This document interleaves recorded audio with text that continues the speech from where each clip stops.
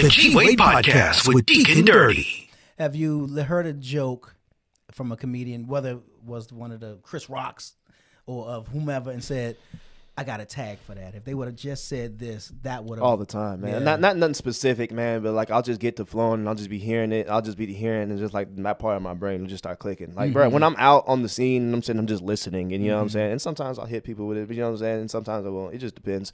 You know what I'm saying. Uh, I've had somebody be like, "Dang, bro, you, you don't even need to be saying that joke." But I can. right, right, right, right, right. Is is there anything too far? Uh, What's the there's limit no for there's you? no subject off limits, man. There is no subject off limits. There's nothing that you can't talk about. There is nothing that you can't say. But if you're gonna say something reckless, there's it better be funny. I, Yeah. I tell everybody Is there that a too soon? it better be funny. Yeah. It better be funny. I t- because be I've seen it. how much stuff comedians can get away with if if the crowd is with them. If they think if Yeah. they won the crowd over, yeah. like, oh, he actually said that. Yeah, because I, I had a joke about COVID where I was just like, it only took six hundred thousand people for me to get my life together, and some people will laugh, and some people will be like, Ugh! but like it's but like if you're doing your see, look at. See, nah. so like, yeah, it's just like I said. I mean, it's real. It's honest. But if you're telling the truth, you're gonna mm-hmm. either you either you're gonna either make somebody happy or rub somebody the wrong Rub- way. so yeah, there's there's that. nothing you can really do about that. You mm-hmm. know what I'm saying? So mm-hmm. I mean, I just focus on the people who are here, if they who are with me. If they're not, Yeah, yeah. I'm sorry. I mean, what you want me to do? I mean, not, not like I'm, I'm not apologizing to you. I'm just, I'm sorry you feel that way. I, what you want me to do? Right. like, if there was a sitcom that you could be on right now, let's go with comedy since we're in the lane. If there was a sitcom that you could be on right now, what sitcom would that be? that is a great question. That is a great question. He's like, I fit in. I know I would fit in well on the set of that. Dang, that's a show. good question. Uh, uh, I would probably say either the George Lopez show or the Wayans Brothers. I was the Okay, Wayans yeah. Brothers. I was a- Lo- George Lopez show was good too. Oh yeah, Yeah. George Lopez show and Wayans Mhm. Brothers. Wayans Brothers was my favorite '90s sitcom. That was the, out, of, out of all the Yeah. one, out of all the ones, that was the one that stood out to me the most. Mm-hmm. You know what I'm saying? Marlon Wayans is my dog to this day. I, I'm a huge fan. Yeah, Marlon Wayans. Nobody else is in, they're probably Yeah. in my top ten. Yeah, Um, black, black and Mexican, you could actually do both. yeah, exactly. That's why I picked those two. Uh, nah. well, Um, no, but yeah, I mean, but but you also have. We talked about this with Christopher uh, James that you- uh, that you have this ambiguous kind of look to you too. So Um, yeah. we know, but we don't know. You know what I mean? So. You, it's almost like the Rock. You know, the Rock can kind of ease in in Yeah. different kind of ways, where they're pairing with a black woman or a white woman, Mm-hmm. uh, and it works. You know what I mean? And I'm learning that. Um, because like even us uh, doing 30331 because like I just the acting stuff I literally just fell into in the Okay. last like few years because I just been smooth out here just doing comedy, uh, doing stand up and just Yeah. trying to do whatever I can. But then like I said in the last week, that's that type of stuff just started to come my way and it keeps coming and I'm not mm-hmm. even really looking for it. It's just coming. Gotcha. Like you know what I'm saying? So that's where I'm like I'm starting to like see how like other people perceive me and like you know mm-hmm. and see me and trying and I'm getting to the point now where I'm starting to use it to my advantage. I mm-hmm. mean I mean I'm here, you know what I'm saying, and people keep on putting me in those in those situations, so I might as well. Right, right, right. Uh, but yeah, man, I never really thought about that until people made me made me start thinking about it. You know what I'm saying? I was just be like, I just I'm I'm just here. I'm just existing in this plane. That's Right, what- right, right. kind of moving along with, Yeah, the, with yeah, the flow yeah. of it. Yeah. What's the end goal? Ah man, I would just love just a full time career in comedy, man. I don't even really do this stuff to be famous or nothing like that. A lot of people do want to get famous and like you know what I'm saying, and all power to them. I don't do this at all to be famous. I literally do it because I don't feel like there's anything else I can do. Like I mean, like I have other school. Yeah, I mean, I, ha- I mean, I have like you know what I'm saying, like uh, other skills and whatever. But like. I keep getting fired, bro, because I be running my mouth too much. and like, Like everything ain't funny. yes, it is. you got to look for the joke. Yes, exactly. But I- Find the funny. You know what I'm saying? Exactly. I, I just, bro, it just, it, like again, this is just me. It comes naturally to Mm-hmm. Yeah, me. yeah, I don't yeah, do it to offend nobody. I don't do it to hurt nobody's feelings. But I just, this is me. Like you know what I'm saying. I've just have always been this way, and then me doing being this way in that arena is. Is, is how you thrive, you know what I'm Mm-hmm, saying? So I just go, I just go to the path of not so much like least resistance, but the path that like flows Yeah, yeah. since I like you know what I'm saying since I've been doing comedy and stuff like and these last couple years more opportunities coming in more money's coming my way more like productions have been coming my way and Okay. stuff like the more I just put my head down and focus Mm-hmm. on comedy and treat it like a career the more stuff comes to me you know what I'm saying because I Mm-hmm. just it, like I said it's just like I said I just be being me and doing myself and it just comes natural and I don't have no problem doing other work because like I like I legitimately love love doing do. do it. Right. legitimately love doing this. I don't do it for fame. I don't do it for clout. It's just I love doing it. Right. You know what I'm saying? And all the other stuff just kind of just comes. What kind of uh, uh, projects do you look? Uh, are you looking to uh, for chicken tacos? Ch- is it tacos? Chicken, chicken taco, just chicken taco Productions, productions, yeah. to uh to put out. Uh, well, I have a um show that I'm producing right now with my partner Lisa Smith called Love Is Trash.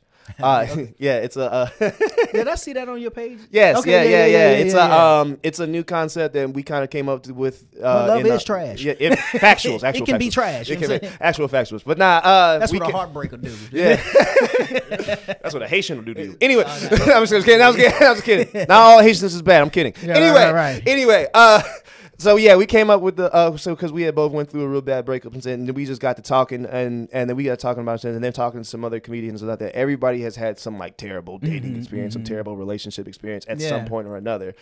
So we created like a talk show format Okay. where uh, where we'll have a creative or we'll have like a um, a regular person tell us whatever story or whatever their situation was, and then that me and Lisa will react to it and just try to make it funny. Because nine Okay. times out of ten, it's like terrible. It's like you know what I'm saying. All these things are terrible when you're going through them, but like you know what I'm saying. But like time heals all, Mm-hmm. And and that's what comedy is: taking like the terrible things, taking like the ugly things, and putting like not so much a positive spin on it, putting a- on yeah, it. putting a yeah, putting a good spin on it. Yeah, you know what I'm saying. So. uh like for example, we had a, uh, a lady tell us uh, a story about how on the first date, man, this dude had her making a peanut butter and jelly sandwich with with Kroger brand peanut butter, and then they watched Shottas, and- and then they ended up getting married and divorced. That was never gonna work. When them say y'all watch Shottas on your first date, that's stupid. that was a red flag. What are you That's doing? funny. uh, then we had another dude tell us a story about him. Why he went to this college for uh, he had a. Uh, uh, college offer to go someplace else, you know what I'm saying? Mm-hmm. But he went to go with his high school sweetheart, but she went, mm. but and then he had to walk in. I'm finding her cheating with two dudes.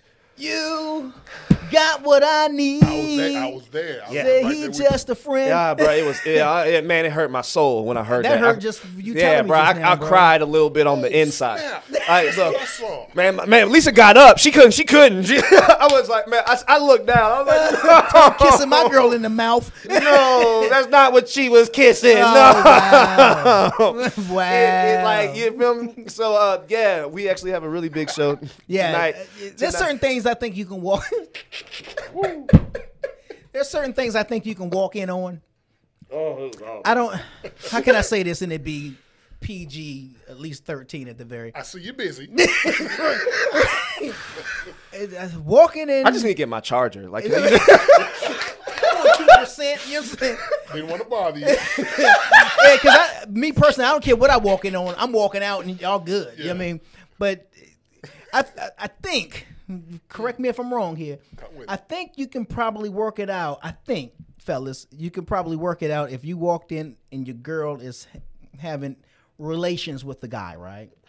Head first. Versus you walk in with your girl having. Multiple relations. Well, okay, that's the third one.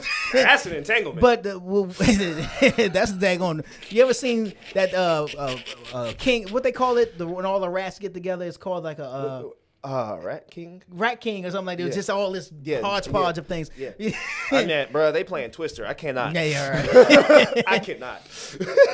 okay, walking in and she and them, he he and her, or she and him are missionary, versus walking in and she and she is Praying. praying to.